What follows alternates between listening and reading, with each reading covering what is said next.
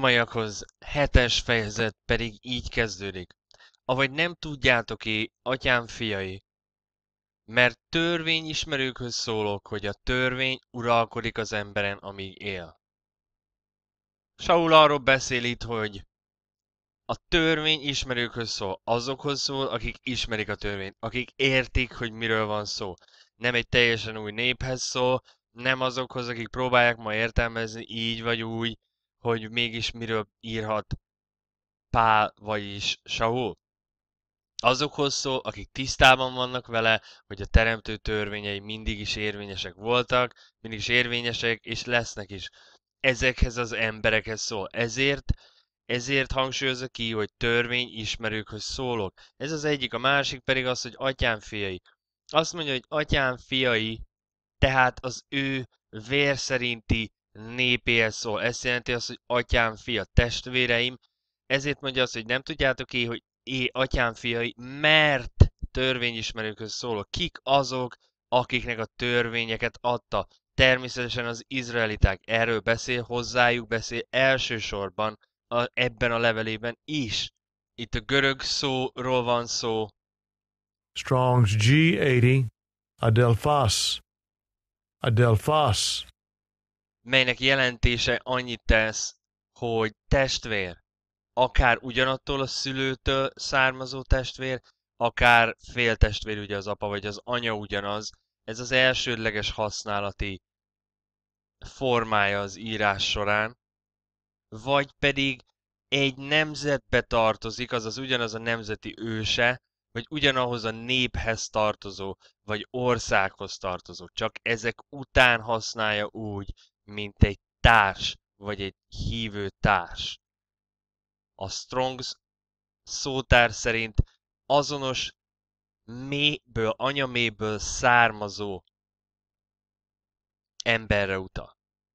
Testvér, szó szerint vagy átvitt értelemben.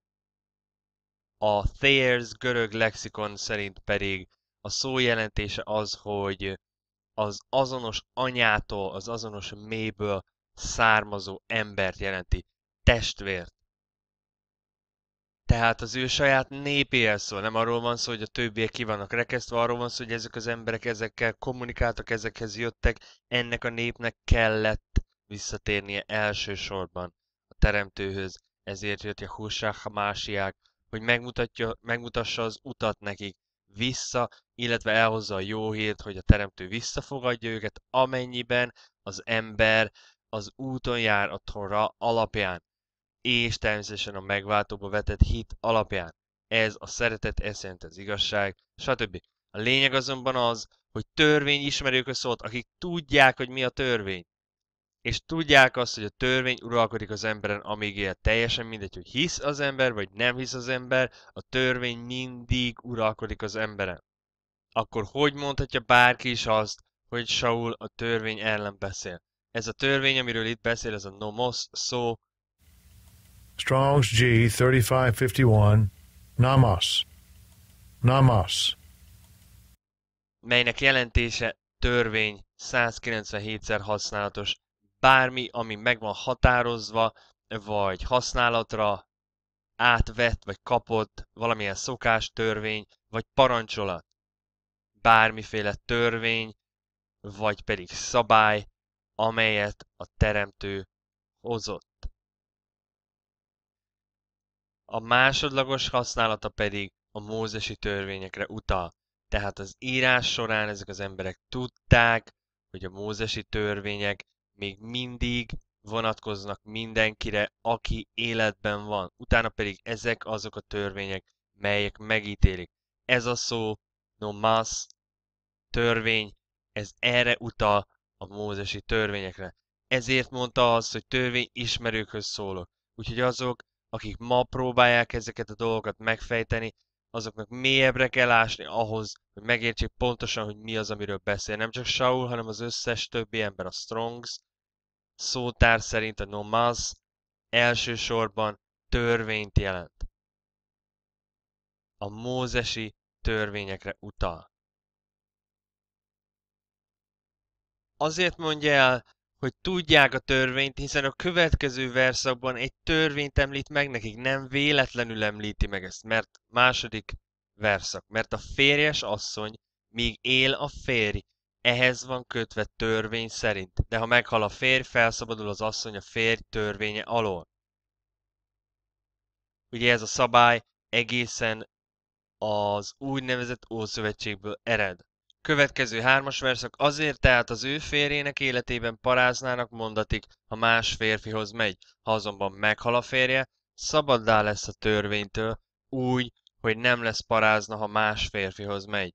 Villámgyorsan egy dolgot ö, megmutatni. Szabaddá lesz a törvénytől. Valószínűleg elkerüli sokoknak a figyelmét, mikor azt mondja Saul hangsúlyozó, hogy szabadok vagyunk a törvénytől. Azért szabad a törvénytől, mert rá nem vonatkozik a törvény, nem szegi meg azt a törvényt a viselkedésével. Így lesz szabaddá a törvénytől. Nem arról van szó, hogy a törvény nem fog létezni, arról van szó, hogy az ő viselkedésével nem fogja megszegni a törvényt. Így lesz valaki szabad a törvénytől, hogy úgy viselkedik a törvény szerint viselkedik, így szabad lesz a törvénytől. Nem arról van szó, hogy a törvény megszűnik, hanem arról, hogy az ember úgy fog viselkedni a törvény szerint. Természetesen, ha meghal a férje, ez egy olyan körülmény, ami szabaddá teszi ettől a törvénytől. A törvény attól nem szűnik meg. Nagyon fontos, hogy megértsük azt, hogy miért ezt a törvényt említi. Nézzük meg, hogy honnan is ered ez a törvény először is. 5 Mózes Deberim 24 első vers. Ha valaki asszonyt vesz magához, és feleségévé teszi azt, és ha azután nem találja azt kedvére valónak, mivel hogy valami illetlenséget talál benne, és ír néki vállólevelet, és kezébe adja azt annak, és elküldi házától, és kimegy az ő házából, és elmegy és más férfiúé lesz, és a második férfiú is meggyűlöli őt, és ír néki vállólevet, és kezébe adja azt, és elküldi őt a házától, vagy ha meghal az a második férfi, aki elvette azt magának feleségül, az első férje, aki elküldte őt, nem veheti másodszor is magához, hogy feleségévé legyen, minek utána megfertéztetett. Mert útálatosság ez a Jahua előtt, te pedig ne tedd bűnösé a földet, melyet Jahua te hatalmasságod áld néked örökségül. Röviden arról van szó, hogyha valaki elvesz egy asszonyt, és elválik tőle, mert valami illetlenséget talál benne, nem, nem ok nélkül, vagy csak azért, mert egy másik megtetszett neki, vagy egy harmadik, hanem valami illetlenséget talál benne, akkor utána, ha az másé lesz az az asszony, utána az a férfi nem veheti vissza az első férje, nem házasodhat vele újra soha többet.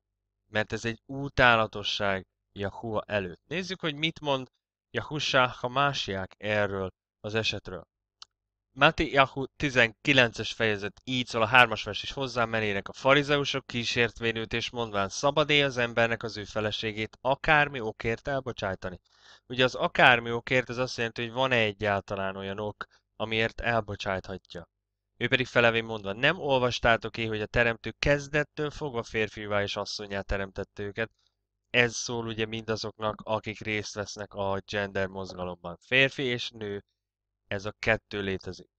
És azt mondá, annak okáért elhagyja a férfi az anyját és az atyát, ragaszkodik a feleségéhez, és ketten lesznek egy testi. Úgy, hogy többé nem kettő, hanem egy test, amit ezért Elohim egybeszerkesztett ember el ne válassza.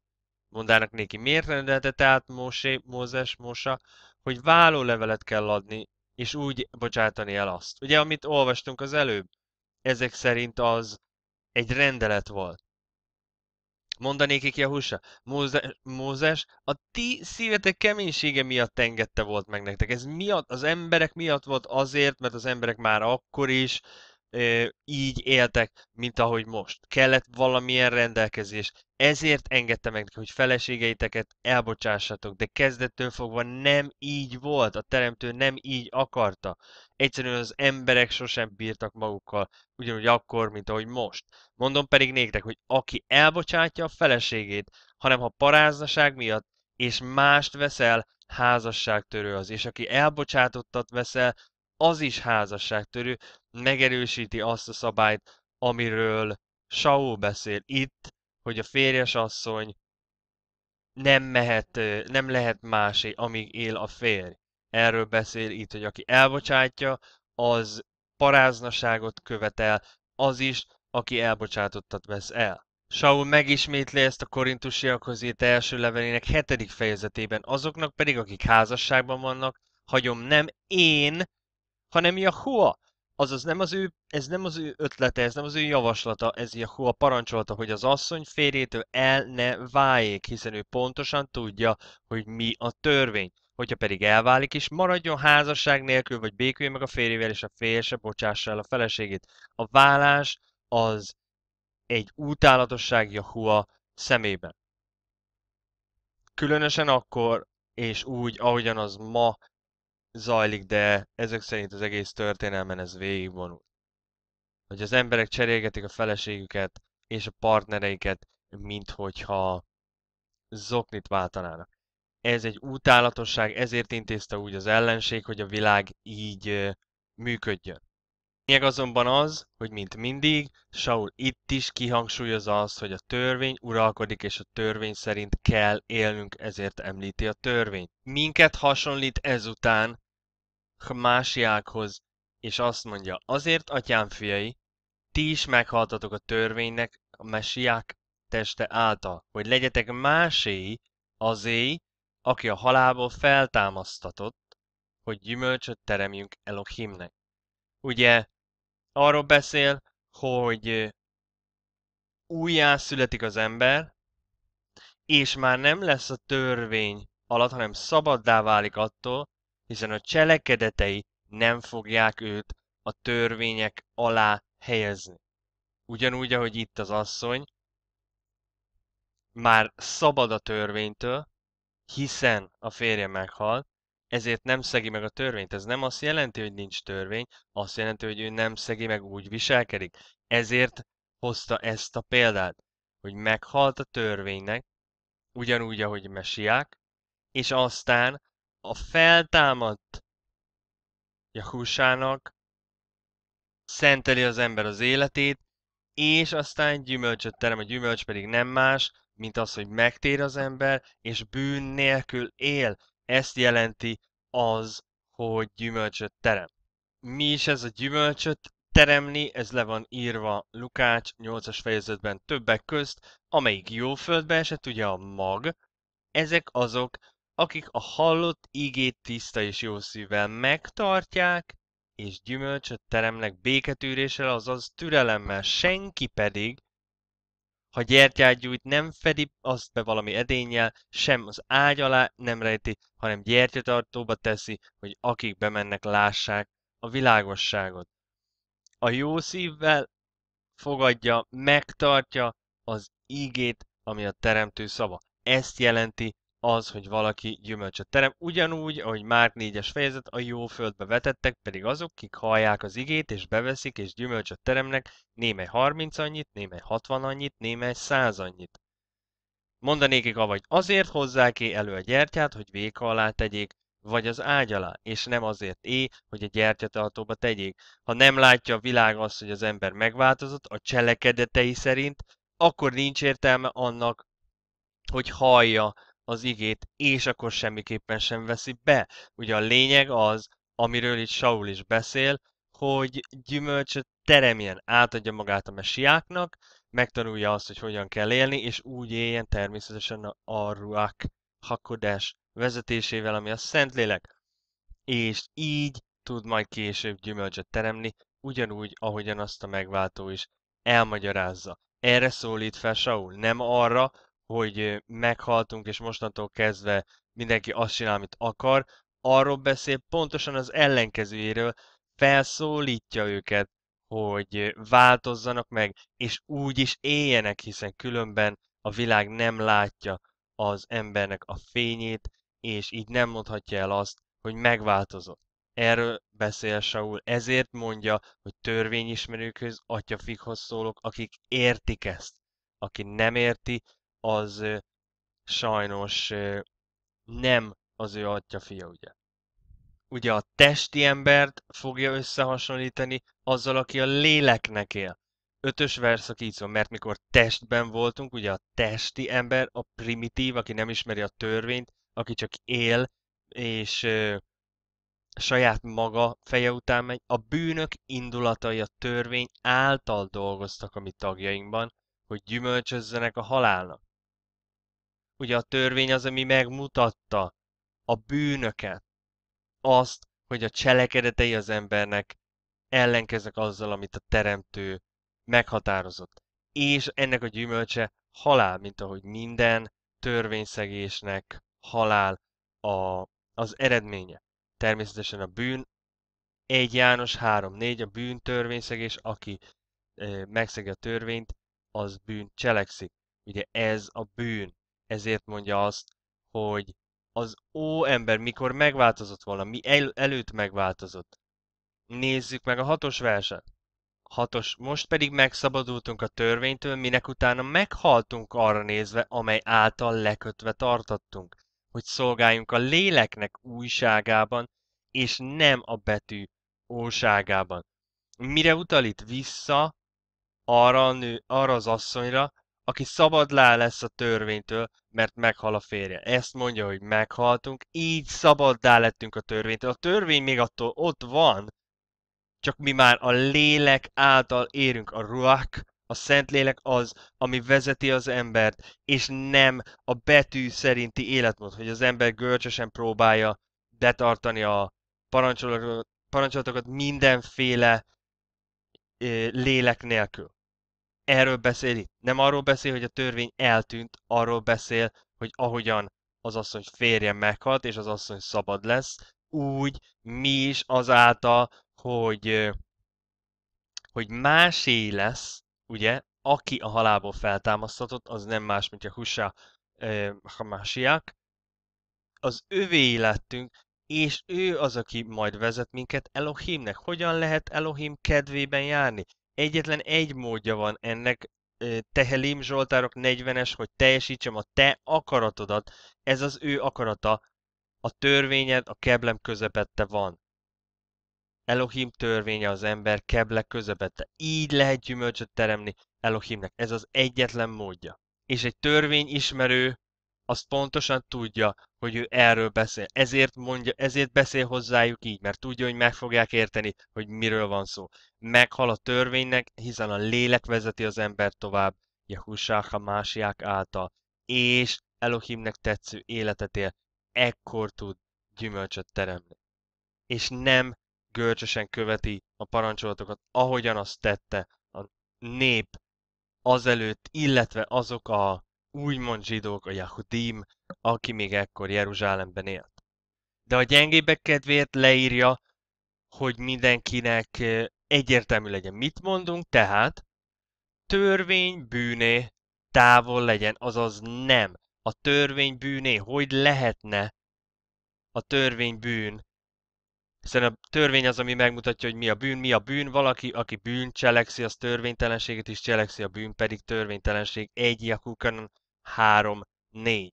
De ismét elmondja, hogy mi az, amire gondol. Sőt, inkább a bűnt nem ismertem, hanem csak a törvény által. A törvény az, ami megmutatja, hogy mi a bűn, mert kívánságról sem tudtam volna, ha a törvény nem mondaná, ne kívánjad.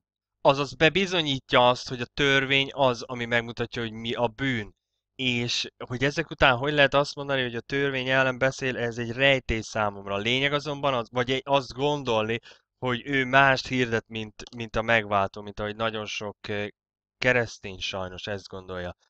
Honnan is van ez az idézet, ne kívánjad, ez természetesen nem más, mint Semot 20-as fejezet, ne kívánd a te fele barátodnak házát, ne kívánd a te fele barátodnak feleségét, se szolgáját, se szolgáló lányát, se ökrét, se szamarát, és semmit, ami a te fele barátodé. Ugye ez a tíz parancsolatból a tizedik parancsolat. Erre utal vissza, hogy ez mutatta meg számára, hogy ez rossz. Persze lehet azzal vitatkozni, hogy ó, én ezt tudom, mindenkinek vannak gyengéi. Ezért van a törvény. Olyan ember nincs, aki hibátlan, és nincs olyan, aki, aki tökéletesen úgy él, ahogy a megváltó. Teljesen mindegy, hogy kinek mi a gyengéje, ezek szerint neki ez volt, ezt a példát hozta. Hogy a törvény nem, hogy nem bűn, az az, ami megmutatja, hogy mi a bűn, hiszen a bűn maga a törvénytelenség. A bűn és a törvény az két ellenkező oldalon álló fogalmak. De a bűn alkalmat vévén a parancsolat által nemzet bennem minden kívánságot, mert törvény nélkül holt a bűn. Ugye a bűn erőt vesz rajta, és a parancsolat az, ami megmutatja, hogy ez egy bűn, hiszen a törvény nélkül nem létezhet bűn. Amennyiben nincs törvény, akkor azt nem lehet megszegni.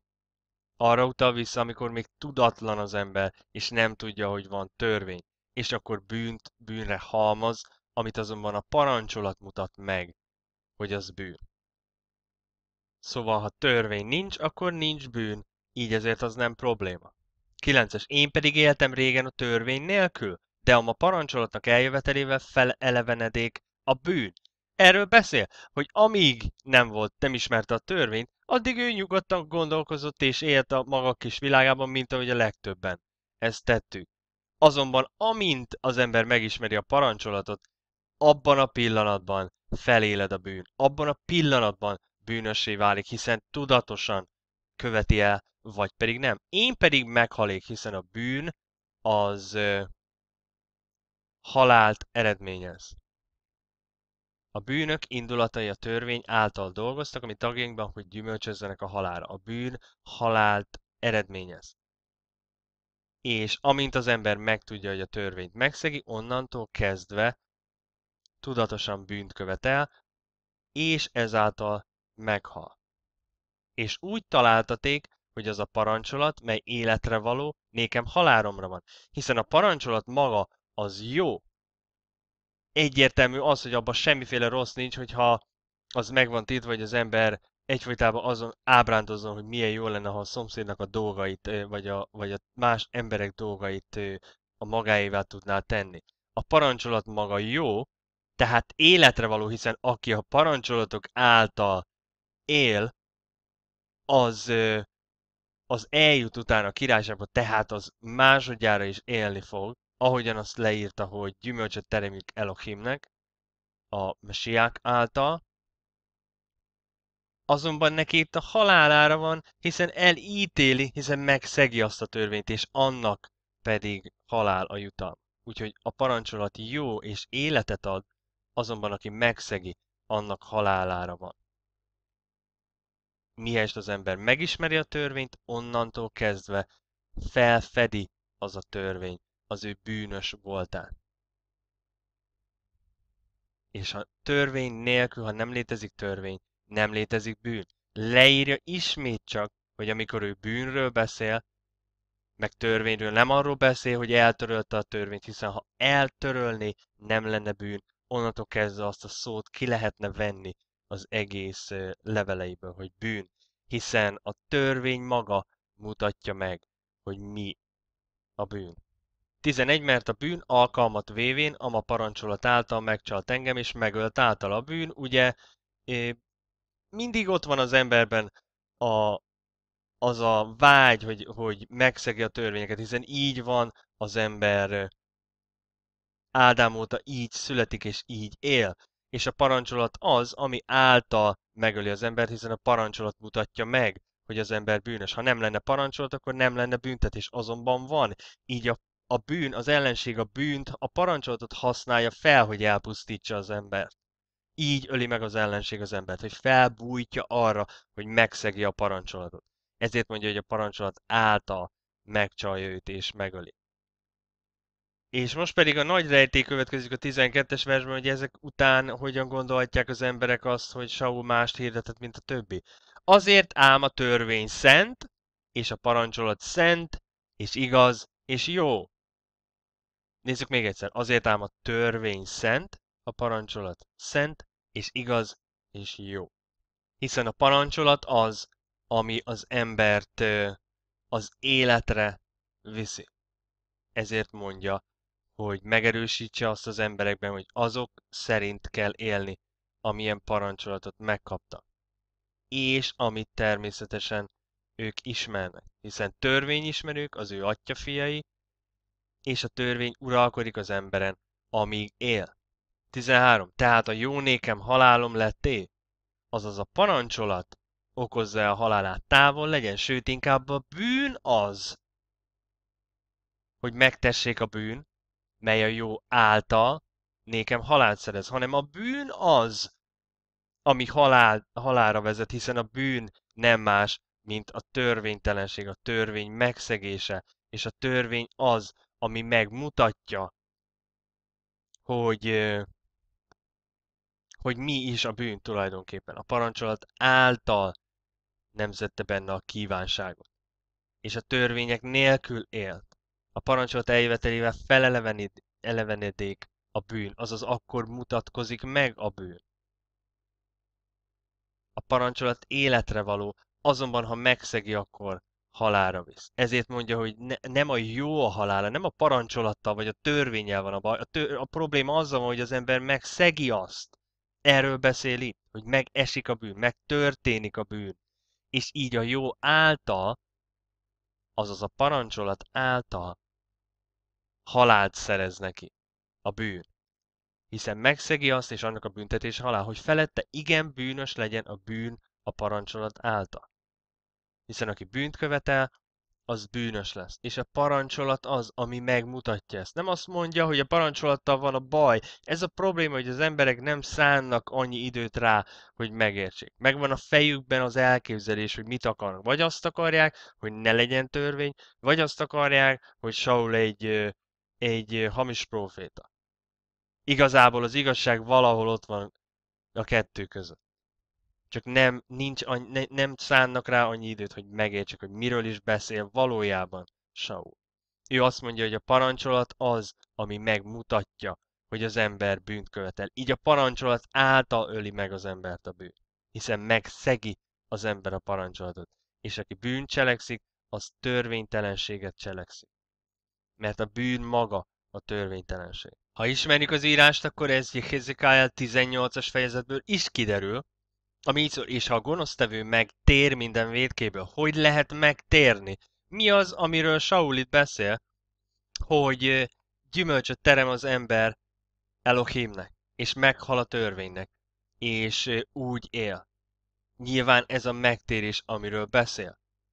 Hiszen a törvény ismerőköz beszél, akik tudják a törvényt, és mi a törvény, az a tanák, amit ma az emberek Ószövetségnek hívnak. Tanák, a zsoltárok és a proféták, mint Jehezekiel, azaz Ezekiel. És ha a gonosztevő megtér védkéből, azaz mit csinál? amelyeket cselekedett, és megtartja minden parancsolatimat, és a törvény szerint, és igazságot cselekszik, élvén éljen, és meg ne halljon. Nyilván, hogyha nem tér meg, akkor meghal. Erről beszél szó szerint Saul ebben a fejezetben. 14.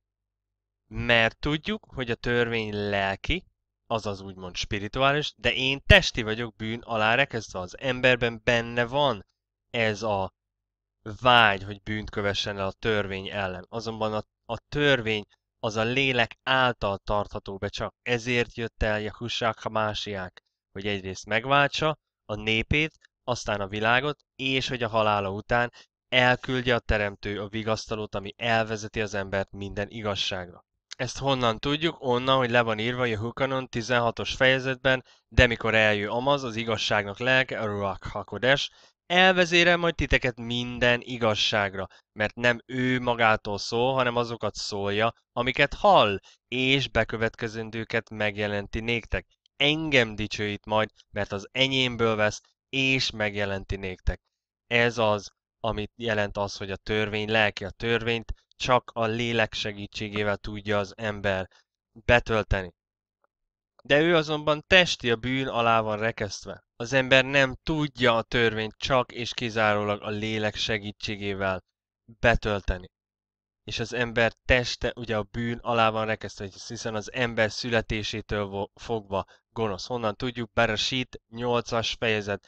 És megérezi Jahua kedves illatot, és mondta Jahua az ő szívében. Nem átkozom meg többé a földet az emberért, mert az ember szívének gondolatja gonosz az ő ifjúságától fogva. Az ember gonosznak születik. Pontosan ez jelenti azt, az, hogy de én testi vagyok, bűn alá rekesztve, hogy ő gonosz, az ember gonosz, a gondolata gonosz, a gyermekkorától fogva. Mit is jelent az, hogy gonosz? Jehezikael 18-as fejezet, 20-as vers, amely lélek vétkezik. Mi a bűn? A bűn törvénytelenség. Annak meg kell halnia, hiszen, ahogy Saul is mondja, halálhoz vezet, ugye, a bűn a törvény megszegése által. Annak meg kell halnia, a fiú ne viselje az apa vétkét, az apa se viselje a fiú vétkét. Az igazon legyen az igazsága, a gonoszon a gonoszsága. Gonosz az, aki bűnt követ el. Ezért mondja azt, hogy ő bűn alá van rekesztve. 15. Mert amit cselekszem, nem ismerem, mert nem azt művelem, amit akarok, hanem amit gyűlölök, azt cselekszem. Most pedig leírja azt, hogy hogyan viselkedik a test. A testi ember, aki a, hogy, hogyan viselkedik az ösztöne az embernek, hogy hogyan is akarja meg, megszegni a törvény. Mert amit cselekszem, nem ismerem, nem érti, nem, nem, nem érti azt, hogy hogyan viselkedik így. Mert nem azt művelem, amit akarok, mit akar.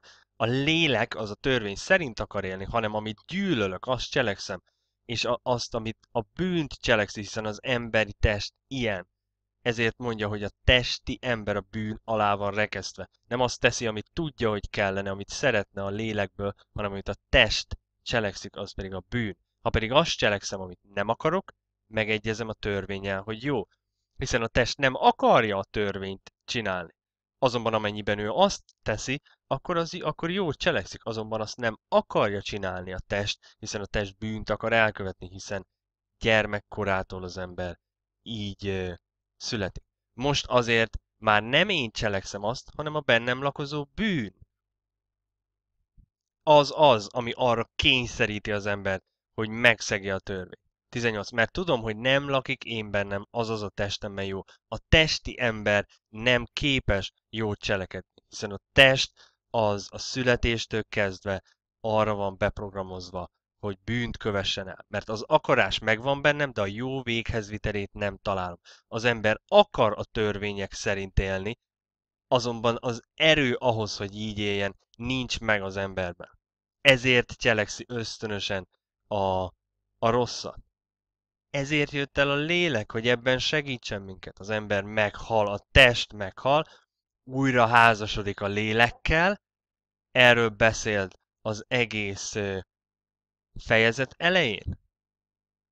Hogy meghal, felszabadul a törvény alól, és szabaddá lesz, és utána már úgy él. Így halljatok meg ti is, a te, a másiák teste által, hogy legyetek másé, azé, aki feltámadt a halálból, és az fog majd vezetni, mint egy új ember. Erről beszél itt. Nem arról, hogy nem kell már a törvény szerint élni, vagy nem lehet. Arról beszél, hogy a törvény lelki. Azonban az ember testi. Az embernek újjá kell születnie. Meghal, alámerül, újjászület, amikor ki, újjászületik, amikor kijön. A víz alól. Ennek a a szimbóluma, maga a bemerítés. Tehát szeretné az ember csinálni, azonban nincs meg az ereje hozzá. 19. Mert nem a jót cselekszem, melyet akarok, hanem a gonosz cselekszem, melyet nem akarok.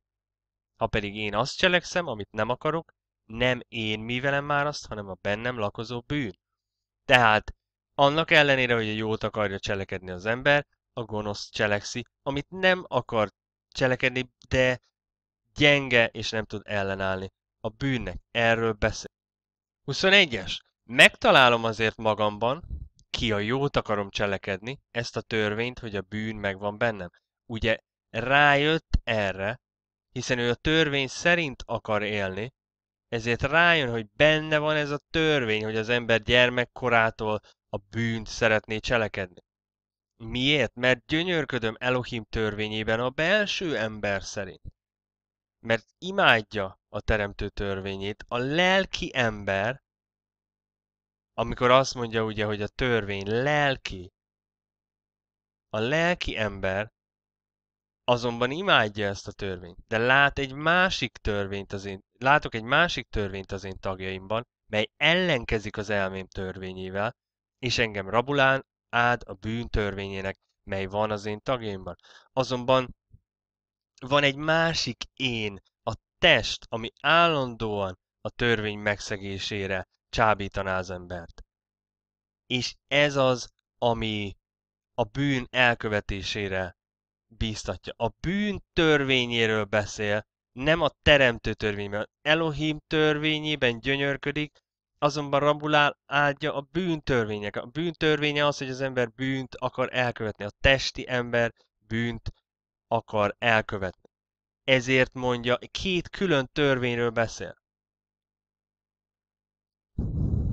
És ő felfedezte ezt a bűntörvényét magában.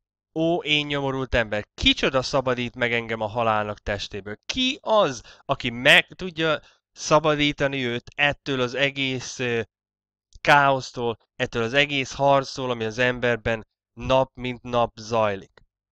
Az, hogy tudja, hogy mit kellene csinálni, de nem azt csinálja, mert a test ellen kell harcolnia mindenkinek. A test és a lélek egymás ellen harcol elismeri azt, hogy az ember egy nyomorult állapotban van, és állandóan a test és a lélek egymás ellen harcol. A lélek az szeretné követni a teremtő törvényét, a test azonban állandóan a bűn törvényének akar szolgálni, ami a parancsolatok megszegése.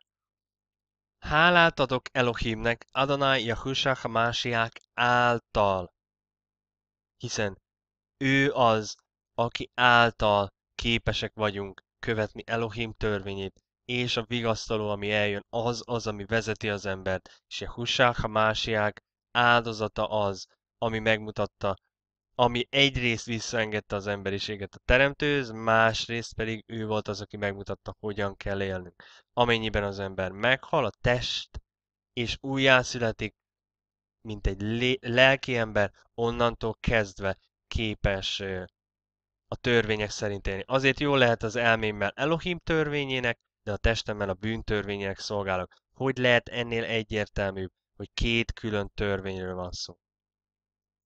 El is mondja. Az elme az, ami a teremtő törvényét szeretné követni, a test azonban a bűn törvényét. Az örök harcról beszél Saul rómaiakhoz hetes fejezetben, ami egy emberben zajlik. A test az, ami a bűnre akarja rávenni az embert állandóan, hiszen gyermekkorától kezdve az ember gondolatai gonoszak. Láttuk, hogy a gonosz a törvényszegés, a parancsolatok be nem tartása. A test ebbe az irányba akar menni, míg a lélek az emberben szeretne a teremtő útján járni. És ez a kettőnek az örök harcát írja le. Rómaiakhoz hetes fejezet aztán pedig nem véletlen az, hogy hálát ad a teremtőnek, hogy elküldte a husák másiákat, és általa képesek vagyunk ezt legyőzni, ahogyan azt már az elején bemutatta nekünk. Hogy meghalunk, a test, testi ember meghal, és utána, ahogyan feltámadt ő is, ugyanúgy mi is a lélek szerint élünk, és akkor fog tudni az ember gyümölcsöt teremni, ami nem más, mint megtérés, a parancsolatok szerint való élet, hitből, a lélek segítségével, és az az aztán, ami megmutatja a világosságot a többi embernek, és, és 30-szor, 60-szor, 100-szor annyi gyümölcsöt terem. Végezetül hagyj hívjam fel a figyelmet arra, amit második Kefa Péter a 3-as fejezetben, a 16-os versben írt. Szinte minden levelében is, mikor ezekről beszél azonban, azokban, melyekben vannak némely nehezen érthető dolgok, amiket a tudatlanok és álhatatlanok elcsűrnek, csavarnak, mint egyéb írásokat is, a magok vesztére. Természetesen kiről is van szó, ami szeretett agyánk fia Saul Pál is írt néktek a néki adott bölcsesség szerint. Erről beszél. Második Péter harmadik fejezet. Azok, akik tudatlanok, vagy azok, akik nem akarják igazán az igazságot követni, azok elcsűrik, csavarják nem csak az ő leveleit és azokat a szavakat, amiket ő írt, hanem az összes többi írásokat is. És ahhoz, hogy az ember megértse nem csak az írást, hanem a teremtő üzenetét, ahhoz idő kell, és és ahhoz részletesen az egészet át kell nézni. Az nem elég az, hogy az ember leül, és azt akarja látni, hogy nincsen törvény, vagy azt akarja látni, hogy Saul hamis proféta.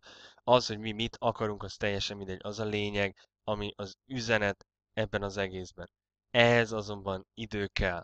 Nem véletlenül vannak benne ezek a figyelmeztetések az írásban.